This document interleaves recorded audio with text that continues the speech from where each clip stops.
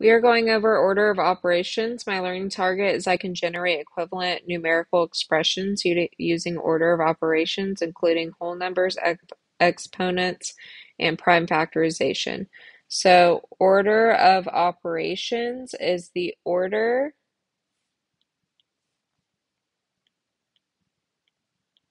mathematicians should follow to solve expressions. So we use PEMDAS, which stands for different things that we're going to go over. And then we solve um, the expressions in the order of those letters. So P represents calculating any anything inside parentheses or brackets. So that's going to be anything that looks like these symbols right here. All right, then we have E, which means calculate either exponents, roots, which we don't do in sixth grade, and absolute values.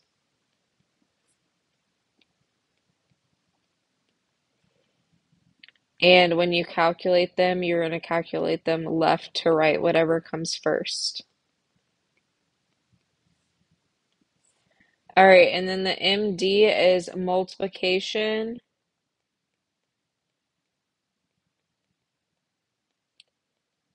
and division. So you're going to calculate whichever comes first, left to right. And then lastly, the A and the S is addition and subtraction. And you're going to calculate whichever comes first from left to right. All right, let's do these practice problems down here using these steps of order of operation. So we have 5 plus 6 times 7, so we're going to do this first. So that's 42 plus 5. So my answer is 47.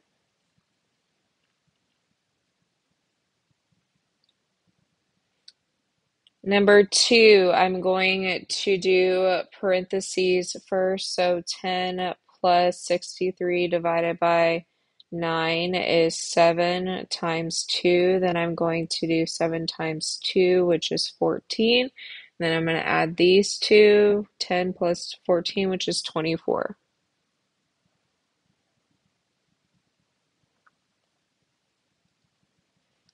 All right, number three, we have 2 to the third plus 7 times 6 divided by 2, which is 3, minus 8. Then I'm going to do my exponents. 2 to the third power is 2 times 2 times 2. So that is 8. Then I'm going to do 7 times 3, which is 21. Then 8 plus 21, which is 29. And then minus 8. So 29 minus 8 is 21.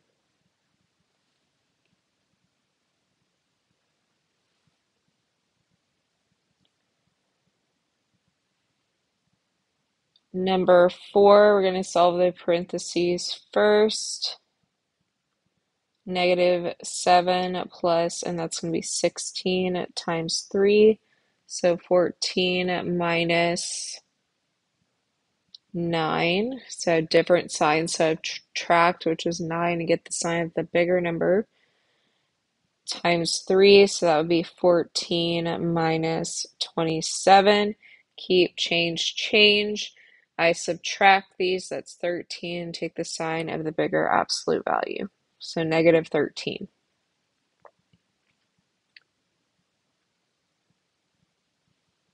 All right, number five, I'm going to multiply these first. So negative 40 plus 12 minus 3. Negative 40 plus 12, I'm going to subtract these and take the sign of the bigger absolute value. So that'll be negative 28 minus 3. And Then I'm going to keep change change, so that will be negative 31.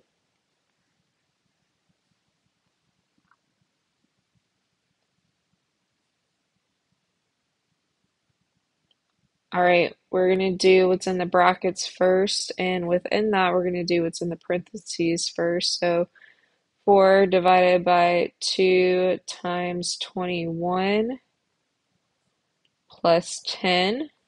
So then we're going to do 4 divided by 2, which is 2 times 21 plus 10. And then that would be 42 plus 10. So we end up with 52.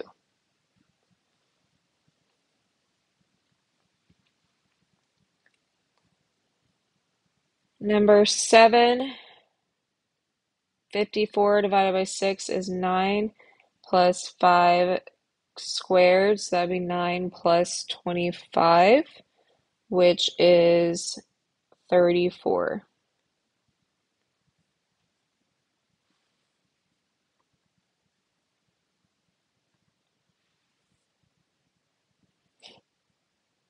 Number 8, absolute value of 4 minus 7, that's going to be negative 3 plus 6 to the third power divided by 3. So that absolute value of negative 3 is 3. Plus 6 to the third power would be 6 times 6 times 6. So 36 times 6. So 216 divided by 3. So I'm going to do that division next. Goes into 21 seven times. Goes into 6 two times. So 3 plus 72, and that is going to be 75.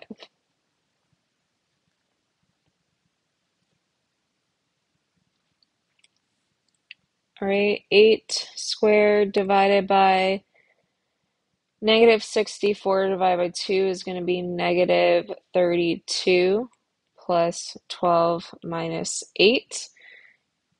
8 squared is 64 divided by negative 32 plus 12 minus 8. 64 divided by negative 32 is going to be negative 2 plus 12 minus 8. Negative 2 plus 12 is going to be 10 minus 8, and then we get 2.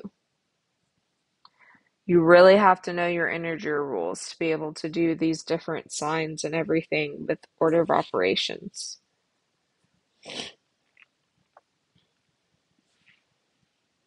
All right, 5 minus 6 times 5 times 2 divided by 10 then we have 5 minus 30, because 6 times 5 is 30, times 2 divided by 10. 5 minus 60 divided by 10. And then 5 minus 6, so we get negative 1.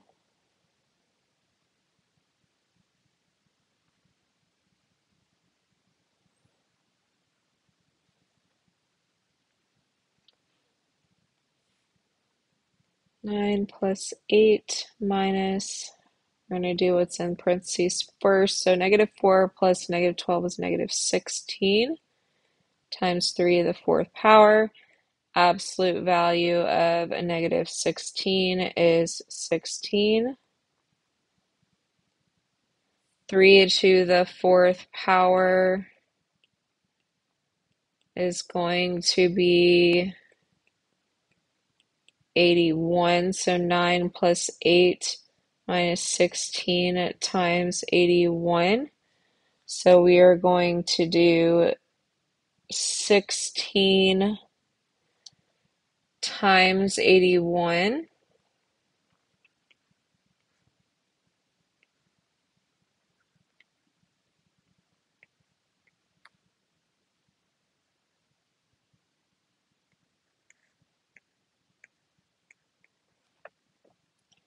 So 9 plus 8 minus 1,296. So then we have 17 minus 100, 1,296. Keep change, change. We're going to subtract these and then keep the sign of the greater absolute value. So it'd be negative 1,279.